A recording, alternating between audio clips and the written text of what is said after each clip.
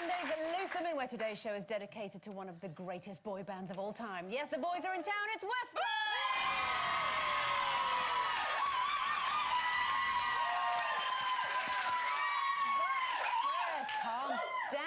Ladies and gentlemen. Uh, but first, as we mentioned earlier, I'm a Celebrity's back, and apparently jungle warfare has already broken out because of the star's sleeping habits. Well, they're causing a bit of a stink.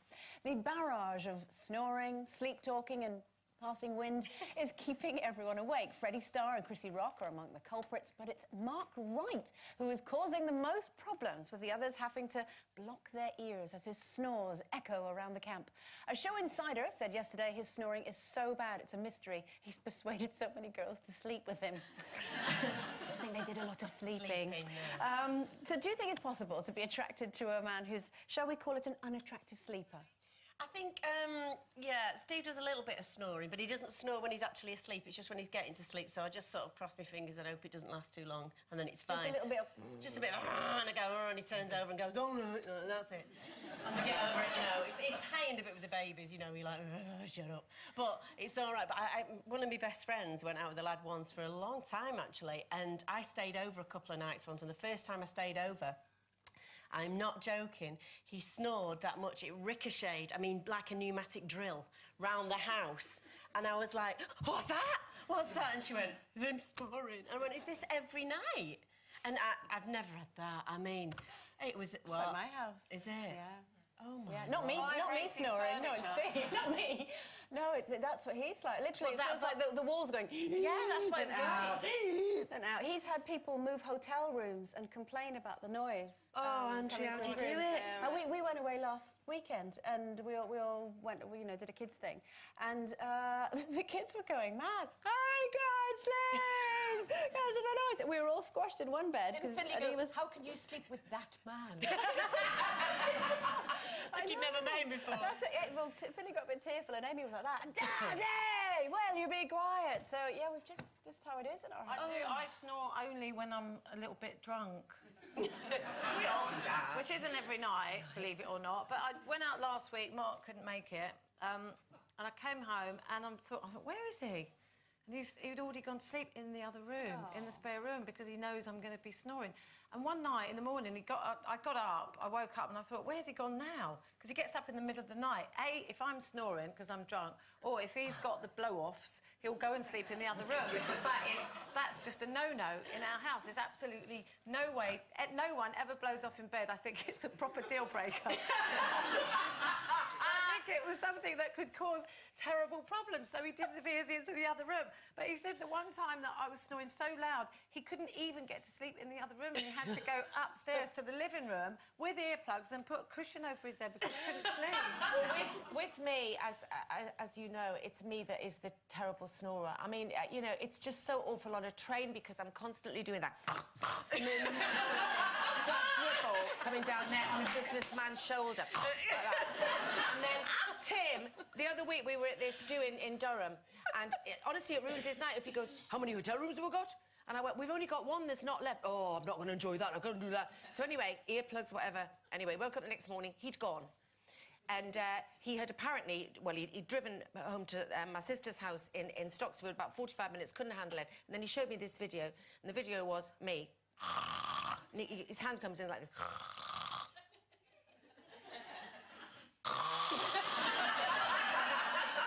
So then when we're together, I'm like that, right? Not then you've got him, who snores when he's drunk, but if he's not, he's sort of a bit like Steve, a type of snorer.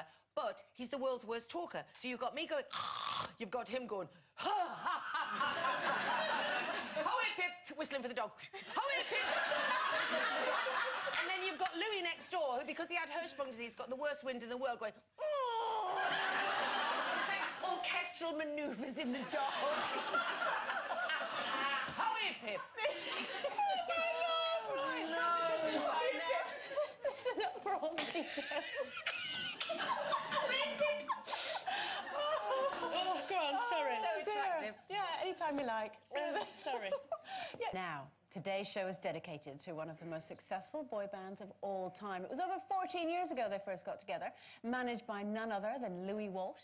Now, after 44 million albums sold worldwide, 14 UK number one singles, 17, uh, 17 seven number one albums, uh, 10 sellout tours, and a performance for the Pope, they have dramatically decided to call it a day. Luckily, it's not before they treat us to an album that celebrates their greatest hits. Telling us what it feels like to be walking away from it all and reflecting on their successes. It's Shane and Nicky from Westlife.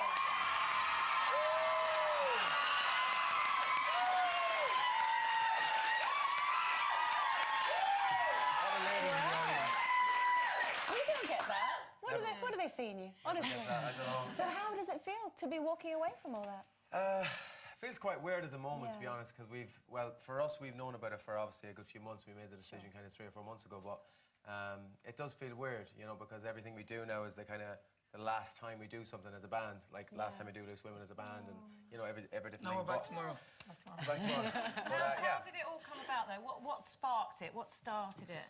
I think it was just, uh, it's inevitable after 14 years, you know. It's, it's something that, you know, we've been doing it, you know, daily, daily, daily for 14 years. And, and I think it's, it's one of those things where you just kind of look yourself in the mirror one time and, and speak to the lads and, and say, look, it's probably best to, to move on. We'd, we'd come to the end of a contract that um, we'd renegotiated over the, during the 14 years lots of times. And Sony really wanted to, to, you know, do a new deal again, but it was just it was one of those things where we said, felt the no, we couldn't, we couldn't give the commitment to it, all of us. So. I think you've done it in such an amazing way. I mean, we recently saw Steps and how horrible it was their split up, and it took them 10 years to get over it. But you're, I've just seen you that you're all still best proper Yeah, yeah. mates, No, aren't yeah, you? that's- and that's you've the done it best. properly. Yeah, that's the best thing about it. You know, we are, our friendship is 100% intact, which is great. And um, it's kind of, I think it's more about just moving on with our lives and seeing what else is out there. I think we all mm. want to do different things, and it's very hard to do that and do Westlife, and, and be, you have to be 100% committed to Westlife. What's been, because I remember years ago when Take That first ever split up, that there was kind of help, Take That fan helplines and things. I mean, what's been the sort of initial reaction from from the fans? We've spoken to a few of them earlier in, in here. What's been the reaction? Well, it's, it's The been, it's been, devastated. like on Twitter and stuff like that for all of us. It's been really overwhelming and stuff, you know. But it's a different thing from when Take That did it. You know, that w- our fan base isn't um, wouldn't be as young because we're going 14 years. It would have been young at one point, but not now. So fans, I think, you know, kind of We've of. got a helpline at the end for people who want They all need help. I think we're, I think, I think we're the ones that need the helplines. and that. Now, you, we mentioned, of course, your, your greatest hits album. What sort of songs can people expect on there? Well, it's got all the obviously the 14 number ones. Um, luckily, I suppose we've, we've got such a collage of, of, of number ones and, and hits like that. It's actually spread out over two albums. Um, Yeah. It was very hard to pick which one to go on which, but it's uh, all the all the hits we've had over the years. We've had like 28 singles, I think, released. And have you all- kept Brian McFadden's voice on them? We have, yeah, yeah. It's the exact same way they were made. Yeah, there's some live versions on there as well of tracks we've done over the years, and they're like different. We've done different vocal arrangements for them and stuff. Oh, Like and that, was so that a conscious extra. decision? Did you think, no, this is how the fans first heard the record, we're going to keep it that way? Or? I think it's yeah. I think it was uh, exactly that reason. I think you know they they bought the single that way when it, when Brian was in the band, and he was part of our band for six years. You know, so you know we have to, I suppose, you know, honour that as well. And you're all Um, still really young now. So how old are you when you we, started? we started when we were eight. We're 22 now, you know, so it's, it's mad, you know. So how old were you when you had your first? You were eight when you had your first. Uh, yeah, we were uh, 18 when we started. 17, 17, 18 when we started. And your first number one was um, what Yeah, was it? Swear it again, yeah, number one. Oh wow! Four- 13 years ago. Yeah. How's Louis? What, what did he have to say? He was still not talking to us. He's Yeah, he's devastated. he is genuinely devastated, yeah. I think we've, Did you know, he we got put a you together relationship. at the beginning, Louis? No, the boys, Shane, Mark, and Kian, are from the west coast of Ireland, and they were in school together and put the band together originally. Right. Took it to Louis and got rid of a few lads and brought myself and Brian in uh, through auditions in Dublin. Uh, but yeah, Louis, Louis devastated. You know, he's. I think for him, you know, we're, we we you kind kids, of. it's not going well, is it? He's having a bad week, he? He's having a bad Have you spoken to him since Kitty's left? Have you, have you No, no, texted him or anything? He's not- he's not- he's not No, speaking to you. no. We won't No, talk to no, us. no, he is speaking. but for, for about three or four weeks, he actually didn't talk to any of us because he was thought. He, and I was like, Why did, what, what's wrong? with it?" And he's like, I thought you changed your mind. I, thought, I thought you did have a bad week. uh, but no, it's, uh, it's, No, it's you funny. Front of some amazing people. I mean, I mentioned, of course, you performed in front of the Pope. Who would see as, who would you see as your most incredible um, person that you've performed in front of? I think the loose women girls is. Yeah,